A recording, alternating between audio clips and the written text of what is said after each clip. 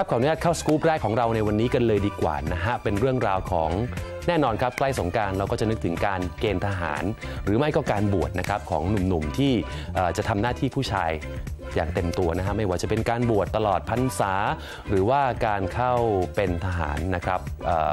ก็หลายคนนะฮะก็อาจจะผ่อนผันบางคนก็อาจจะสมัครก็แล้วแต่นะครับวันนี้รายการ True Insider ขออนุญาตรวบรวมมาฝากคุณผู้ชมนะครับว่าดาราขวัญใจคุณผู้ชมท่านใดบ้างนะครับที่ต้องไปรายรายงานตัวที่เขตไหนเผื่อคุณผู้ชมอยากจะไปให้กำลังใจนะครับจะได้ไปได้ถูกที่เชิญขยายพร้อมๆกันเลยครับ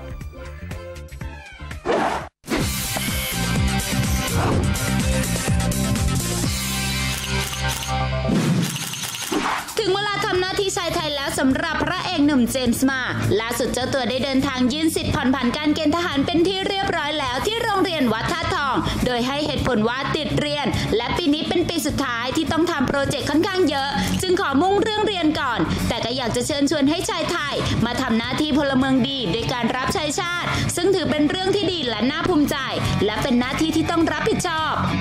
นี้ยังมีนักแสดงหนุ่มพิษพัชรจิราธิวัฒน์ยื่นสิทธิ์ผ่อนผันเช่นเดียวกัน เนื่องจากกำลังศึกษาอยู่ชั้นปีที่ 4 และครั้งนี้เป็นการยื่นผ่อนผันเป็นครั้งสุดท้ายแล้ว ส่วนปีหน้าจะสมัครหรือลุ้นใบดำใบแดง ขอตัดสินใจอีกครั้ง แต่ทางครอบครัวสนับสนุนให้รับใช้ชาติอย่างไรก็ตามแฟนคลับต้องมาลุ้นกับหนุ่มหล่อมาริโอหลังใช้สิทธิผ่อนผันมาจนครบแล้ว ซึ่งในวันที่ 7 เมษายนนี้ต้องเข้าคัดเลือกทหารโดยการจับใบดำใบแดงเท่านั้น เจ้าตัวยืนยันร่างกายแข็งแรงไม่มีโรคแน่นอนจ้า ซึ่งในปีที่แล้วมีศิลปินดาราอีกจำนวนหนึ่งได้เดินทางมาขอยื่นเรื่องผ่อนผัน อย่างรายแรกเลยคือหนุ่มจุธาเทพ มส์มา ที่ขอยื่นผ่อนผันทหารเป็นครั้งแรก ที่หน่วยคัดเลือกเขตประเวศ เนื่องจากติดเรื่องเรียนอยู่ชั้นปีที่ 4 คณะศิลปศาสตร์ สาขาอังกฤษธุรกิจ มหาวิทยาลัยอัสสัมชัญ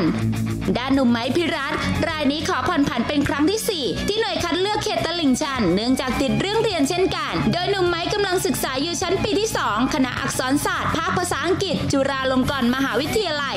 เช่นเดียวกับหนุ่มเวทีค้นฟ้าคว้าดาวสิงโตเดอะสตาร์ได้มาขอผ่อนผันเป็นครั้งที่ 2 เหตุติดเรียน ชั้นปีที่ 2 สาขาวิชานักบินพาณิชย์ มหาวิทยาลัยรังสิต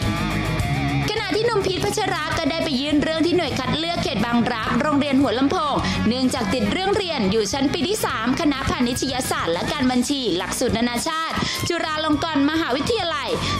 สำหรับนักร้องหนุ่มชินชินวุฒิได้เดินทางมายื่นเรื่องขอผ่อนผันทหารที่โรงเรียนวัดน้อยนพคุณ เขตดุสิตเนื่องจากติดเรียนที่มหาวิทยาลัยรังสิตนอกจากนี้ยังมีอาการบาดเจ็บเรื้อรังที่บริเวณข้อมือขวา จากอุบัติเหตุรถจักรยานล้มเมื่อ 8 ปีก่อน โดยหากแพทย์ระบุว่าไม่สามารถหายขาดจากอาการบาดเจ็บได้ ก็จะถูกพิจารณาเข้าข่ายประเภทที่ 4 ร่างกายไม่สมบูรณ์ ไม่ต้องรับราชการทหาร ซึ่งเจ้าตัวจะต้องมายื่นเรื่องอีกครั้งในปีนี้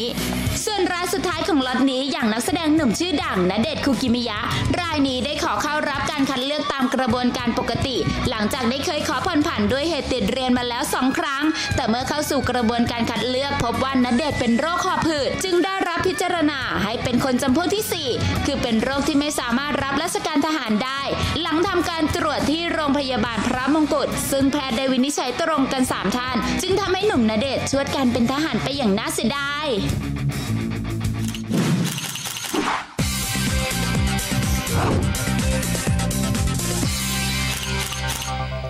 ก็เป็นบรรยากาศที่เกิดขึ้นทุกๆ ปีนะครับไม่ว่าจะกี่รุ่นต่อกี่รุ่น บรรยากาศก็ยังคงเหมือนเดิมครับ ซึ่งคลาสสิกมากๆ มีการลุ้นกันนะครับ บางคนก็ยกขยงกันมาเชียร์นะฮะลุ้นให้เพื่อนได้เป็น หรือให้เพื่อนไม่ได้เป็นก็แล้ว แต่บางคนก็มากันทั้งบ้านก็มีนะครับยังไงก็ตามนะฮะก็เป็นสิ่งหนึ่งที่ลูกผู้ชายไทยต้องผ่านไปให้ได้นะครับก็ขอให้เข้มแข็งทุกๆ คนก็แล้วกันนะครับเอาละครับเดี๋ยวแวะพักกันสักครู่ครับช่วงหน้าเราจะกลับมาว่ากันด้วยเรื่องของที่สิ่งที่มักจะมาพร้อม ๆ กับหน้าร้อน แล้วก็ชุดว่ายน้ำครับสักครู่เดียวกับ True Insider ครับ